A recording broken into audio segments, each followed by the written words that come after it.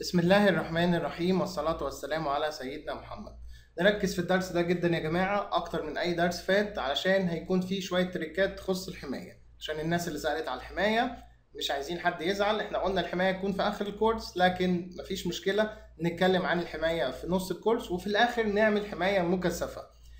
علشان أنت عندك input field في موقعك أي input الشخص ممكن يكتب فيه بلاوي ممكن يكتب فيه حاجات تأذيك كتير جدا. حقل زي ال username ده اللي أنا كتبته فيه أسامة ده. ممكن أكتب فيه سكريبت script source بيساوي أي سكريبت في الدنيا اسامه dot js وأحط المسار بتاعه وأقول له slash script والحقل ده هيحط لي السكريبت دي في الصفحة. لو أنا مثلا المفروض هطبع رسالة في الصفحة ولا هطبع أي رسالة في الدنيا ممكن الشخص ده يحط لي السكريبت في ال header عندي في ال footer في أي مكان في الدنيا ممكن يأذيني بسهولة جدا لو أنا ما عملتش فلتر لحقول الإدخال. آدي ال password وال mail هكتب أي mail وهقول له sign up هتلاقوا إن السكريبت اتحط هنا في ال login هنا تحت خالص. تعالوا نشوف مع بعض. آدي الكونتينر بتاع اللوجن بيج تحت الفورم جوه الايرورز تلاقوا سكريبت سورس بيساوي أسامة. شايفين؟ يعني في بلاوي هتحصل هنا. يقدر الشخص يحط لي اللي هو عايزه بسهولة جدا جدا جدا. طيب دي طبعا مشكلة عويصة. لازم تتعلم دروس الفلتر الموجودة في القناة في course ال PHP عشان تفهم الكلام اللي أنا هقوله دلوقتي ده. طيب نبدأ يا جماعة نعمل filtering للحقول بتاعتنا وفي نفس الوقت بعد ال filtering نعمل كمان ال validate معاها. إزاي الكلام ده كله؟ تعالوا نبدأ بأول حاجة عندنا خالص. هنا هنشيل الكلام ده كله وهنشيل كمان الايكو اللي هنا دي. مش محتاجينها خلاص اللي جوه ال error إحنا أصلا هنعمل loop جوه ال form errors لو طلعت لنا يعني errors بمعنى أصح. هقول له form errors بتساوي array. خلاص كده أنا عملت array فاضية فيها ال form errors بتاعتي. هبدأ بقى لو في error أحط العنصر ده جوه ال array بتاعتي. وبعد كده تحت خالص أعمل loop جواها وأطلع كل ال errors اللي جواها. يعني أنا زي ما تقولوا بالعامية كده جبت كرتونة فاضية. دي الكرتونة الفاضية. هبدأ دلوقتي عند كل error أحط box في الكرتونة دي. وبعد ما اخلص خالص أقول له تعالى اعمل لي loop طلع لي كل البوكسات اللي جوه الكرتونة بتاعتي دي اللي هي ال array دي. طيب نبدأ بأول حاجة وهو ال user name هقول له if is set post user name لو جالي post user name جوه ال form دي اتبعت لي user name دلوقتي من ال form هعمل إيه؟ أول حاجة هعملها هعمل له فلتر أتأكد إن هو أتأكد إن ال user name بتاعي ده ما فيهوش التاجات وما فيهوش السكريبت وما فيهوش كل الحاجات اللي ممكن تأذيني. هعمل variable اسمه user name بيساوي بعدين أقول له filter var.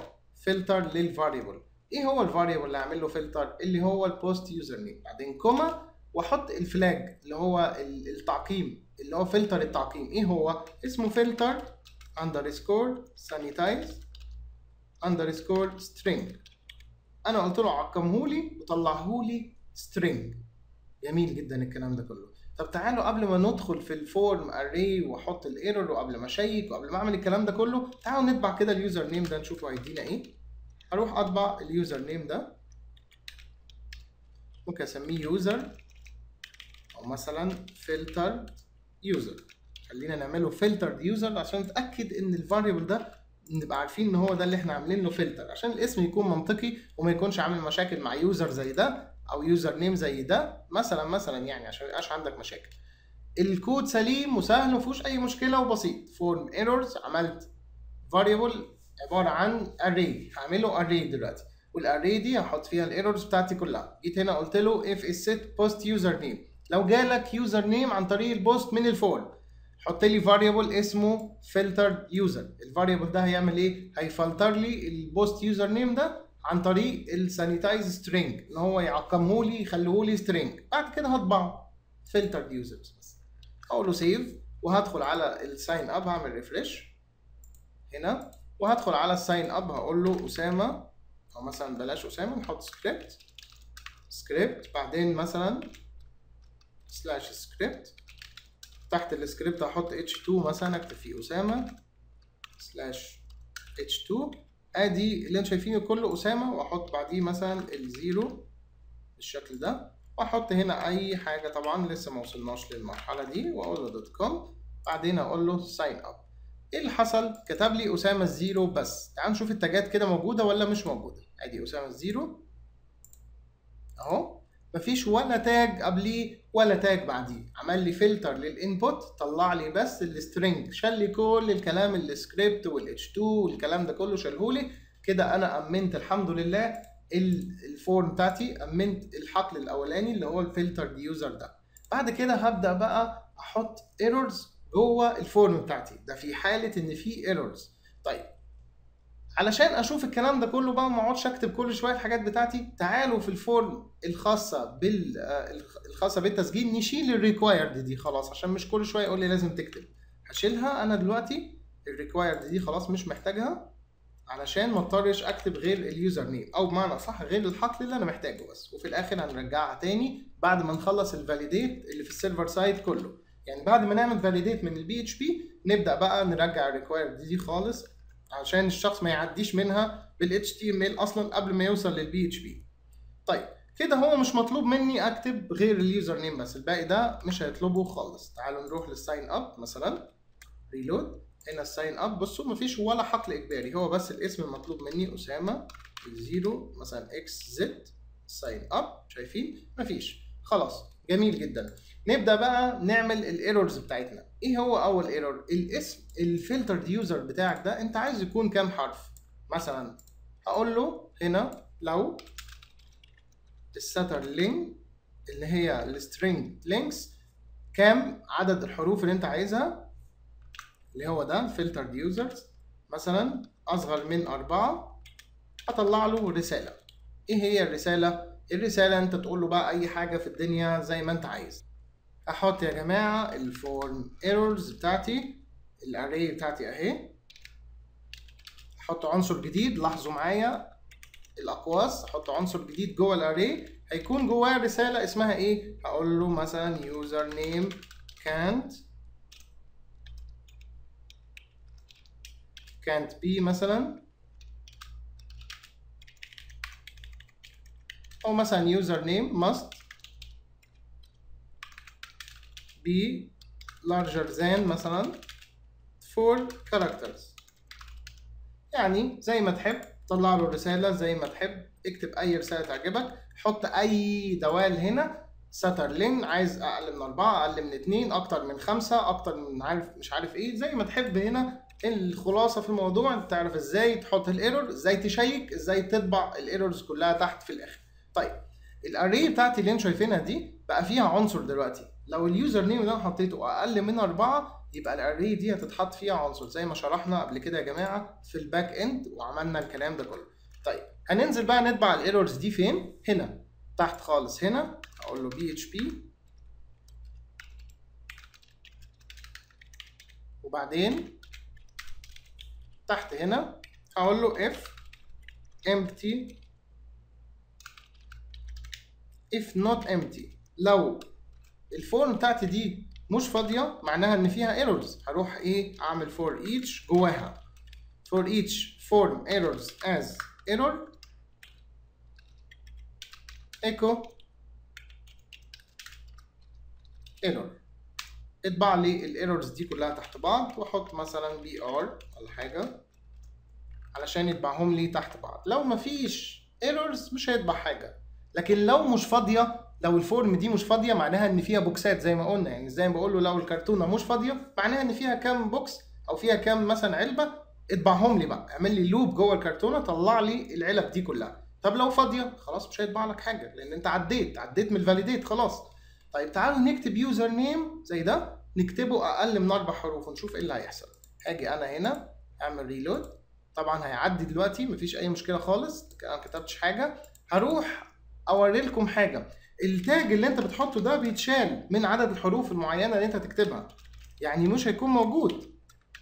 هيبدأ يحسب منين؟ من أول يعني بصوا هو بيعمل إيه الأول؟ بيعمل ال validate اولا. بعد ما يعمل ال validate بيرجع ال string صافي نقي معقم يبدأ بقى يشيك لك عليه. يعني بعد ال validate يبدأ يشيك لك على ال form بتاعك يشيك لك على ال string بتاعك عفوا. أنا كتبت هنا script slash script وهكتب الاسم OS بس وأقول له sign up قال لي إيه user name must be larger than 4 characters أو 4 characters. الاسم بتاعك لابد يكون أكتر من أربع حروف. فمش هينفع الاسم اللي أنا كتبته ده. لازم الاسم يكون كبير. طب تعالوا نكتب اسم كبير ونشوف. هقول له أسامة من خمس حروف. وأقول له sign up الحمد لله تمام. مفيش أي errors طلع. معناها إن أنا عديت من ال validate وعديت من المرحلة دي ببساطة. الحمد لله. وكده كله تمام. عملنا المطلوب 100% الحاجة اللي بعدها يا جماعة هي ال password. ال password موضوع بسيط وسهل جدا فيها. عندي أنا password هنا name وعندي password 2 عشان الاثنين لازم يكونوا matched لازم الاثنين يكونوا زي بعض. طيب جميل جدا. هطلع أنا هنا نفس ال if condition دي اللي أنتوا شايفينها. هعمل منها نسخة ثانية وهنشوف هنعدل فيها إيه. أقول له لو is set post password. لو الشخص بعت ال password. ال password الأولى. طب الناس المركزة بسرعة يقول لي استنى ده ممكن ما يبعتش ال password الثانية ويسيبها فاضية خليه يسيبها فاضية عادي. لو سابها فاضية أنا أصلا في ال check اللي اعمله هنا هشيك ال password الأولى بتساوي الثانية ولا لأ؟ لو ال password الأولى بتساوي الثانية خلاص يعدي يعدي من ال validate لو الثانية فاضية والأولى كتبها معناها إن الأولى ما بتساويش الثانية فخلاص مش هيحصل حاجة ساعتها. ما عنديش مشكلة ما تخليهوش خليه ما يكتبهاش فيقول له password does not match الاثنين password ما فيش ماتش بينهم. فبالتالي مش هينفع أعدي من ال validate ويرجعك ال form تاني عشان تكتب الاثنين زي بعض سواء سبتها فاضية أو سواء كتبت فيها أي حاجة. لكن طبعا لازم يا جماعة نكتب في ال is set هنا الثانية كمان علشان خاطر ما يروحش هو يطلع لك أي warning خالص. and and is set password 2 لو بعت ال password 1 وال password 2 حتى لو سابها فاضية لو سابها فاضية هو كده بعتها بعت قيمة فاضية. طيب لو أنا بعت ال password 1 وال password 2 مع بعض أنا حطيتهم مع بعض يا جماعة علشان يكونوا الاثنين مع بعض. وهقول لكم دلوقتي ليه. طيب تعالوا نجرب بعد ما قلنا له is set password post password 1 أو password 2 تعالوا نجرب كده نطبع واحدة لوحدها يعني نكتب مرة password ونسيب الثانية فاضية. تعالوا نكتب مرة الاثنين نشوف هل هيطلع لنا warning ولا أي مشاكل ولا لأ. أنا قلت له هنا لو بعت ال password and password 2 لو بعت الاثنين اطبعهم لي هنا. هقول له مثلا echo لل post password 1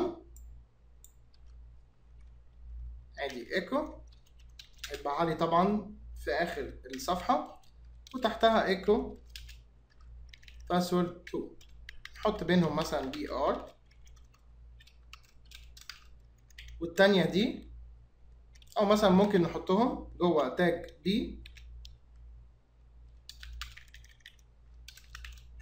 علشان أتأكد علشان أتأكد يا جماعة من موضوع هتجيب error ولا مش هتجيب أو أي warning ولا لأ. slash p طبعا أنا عامل single quote هنا.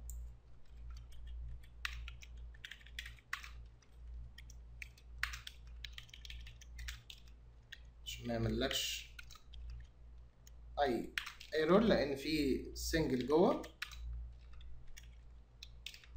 وادي الكود بتاعي اهو. روح أشوف. sign up هطبع أنا الاسم.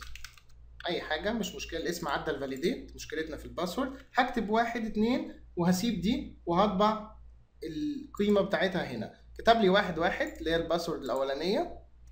اهي. وال p التانية طبعها لي اهي فاضية. شايفين؟ ده اللي أنا عايز أوصل له. ان انت لو ما كتبتش حاجة هو فعليا بعت ال post يعني بعت بعت ال form خلاص. فبالتالي أبدأ أنا أقدر أشيك. فلو سابها فاضية هيقول له إن أنت كتبت دي وما كتبتش الثانية فالاثنين does not match مفيش ماتش بينهم. فبالتالي أنت مش هتعدي كده بال validate هو ده اللي أنا كنت عايز أوصل له عشان أوريه لكم. عشان كده عملت إيه ال isset للاثنين طبعا في مليون طريقة هنا ممكن تعمل بيها ال trick ده. عادي جدا جدا جدا. طيب.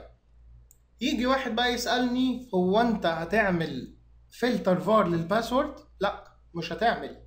طب ما ممكن الشخص يكتب سكريبت جوه ال password. عادي يكتب. ما هو أنا هعمل لها hash أنا هعمل ال hash بتاع اللي هو sha 1 فبالتالي أي script tag أو أي حاجة يعملها مش هيحصل لها أي مشكلة. يعني إيه الكلام ده؟ يعني أنا هنا في الايكو أقول له sha 1 password نفس اللي أنا عملته من شوية أهو. هعمله برده هنا عشان اوريكم sha 1 ال password 1 وال password 2 وأروح اطبعهم برده واشوف. هنا شايفين؟ دي ال password 1 2 3 ودي ال password الفاضية ليها hash ثابت. أقول له sign up دي 1 2 3 ال hash بتاعها أهو. عشان تتأكدوا لو فتحنا ال phpMyAdmin وكتبت هنا 1 2 3 1 2 3 هتلاقيه نفس ال hash الموجود ده نفس ال hash الموجود في ال phpMyAdmin تعالوا نشوف. ادي يا جماعة 6 واخره 78 شايفين؟ 6 واخره 78 ال password بتاعت خالد 1 2 3 1 2 3 نفس ال password اهي اللي عاملينها بال sha1 طب لو الشخص جه في ال password وراح كتب لي script slash script مثلا. أنا بكتب دلوقتي كلمة script slash script أقول له sign up هيجيب لي ال hash بتاعها كأنها كلمة عادية كأنها password عادي مفيش مشكلة خالص. بالتالي مش هيقدر الشخص يكتب أي حاجة هنا لأن ال password بتاعتك في النهاية هتطلع عن طريق ال sha 1 زي ما أنت شايف. طيب جميل جدا. نبدأ بقى بقول له لو أنت بعت ال password 1 وال password 2 هروح حاططهم أنا في متغير هنا. pass 1 بتساوي sha 1 password و pass 2 بتساوي sha 1 ال password التاني جميل جدا جدا لحد هنا. أنا كده عملت ال pass 1 وال pass 2 وهاجي بقى أبدأ أعمل ال check بتاعي اللي هو ال check اللي زي ده. هقول له لو if pass 1 identical لل pass 2 لو الاثنين زي بعض خلاص. طب لو مش زي بعض هيبقى أقول له not identical. أنا عايزهم أنا عايزهم لو هم أصلا لو هم زي بعض خلاص. الموضوع منتهي كمل. أنا ماليش دعوة. لكن لو هم مش زي بعض لا لو هم مش زي بعض. طلع لي رسالة بقى. قول لي ال form errors بتاعتي. هنزود فيها error تاني. إيه هو؟ هقول له sorry password is not match. ال password الأولى مش هي نفس الثانية الباسوردين مش زي بعض خلي بالك. فلازم تخليهم زي بعض. وبعدين هيطبع لي ال error هنا. لو الاثنين مش زي بعض. كده أنا حطيت box جوه الصندوق اهو أو حطيت box جوه الكرتونه زي ما بنقول أو حطيت علبة جوه ال box وأدي العلبة الثانية جوه ال box لو الباسوردين مش زي بعض. وبعد كده أجي هنا أقول له طلع لي العلب بتاعتي كلها. طيب تعالوا نتأكد ونشوف. reload كتب لي sorry password is not match طب تعالوا نكتب username صغير OS و password مختلفة. ونشوف إيه اللي هيحصل. هيطلع لي الاثنين error شايفين؟ طب تعالوا نكتب اسم كبير أسامة وال password مختلفة. شوف هيطلع لي error واحد اللي هو password is not match طب تعالوا نكتب أسامة مظبوط وال password هي هي 1 2 3 وتحت 1 2 3 مش هيطلع لي أي errors لأنه كده عدى من ال validate يا رب يا جماعة الدرس يكون بسيط وسهل وعجبكم نكمل مع بعض ال validate في الدرس الجاي عشان نشوف موضوع ال mail وإزاي نطلع الموضوع ده كله بأكواد سليمة عشان نبعتها لل database وهي صافية من غير أي مشكلة فيها. أشوفكم إن شاء الله الدرس الجاي وشكرا.